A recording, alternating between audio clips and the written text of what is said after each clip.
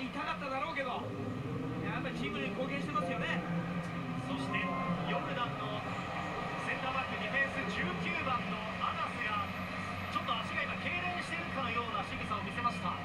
ということは長山さんここを狙っていった方がいいですよね日本は。そうですね。そこで、はい。積極的に勝負仕掛けるべきかもしれないですね、はい。2万5000人以上が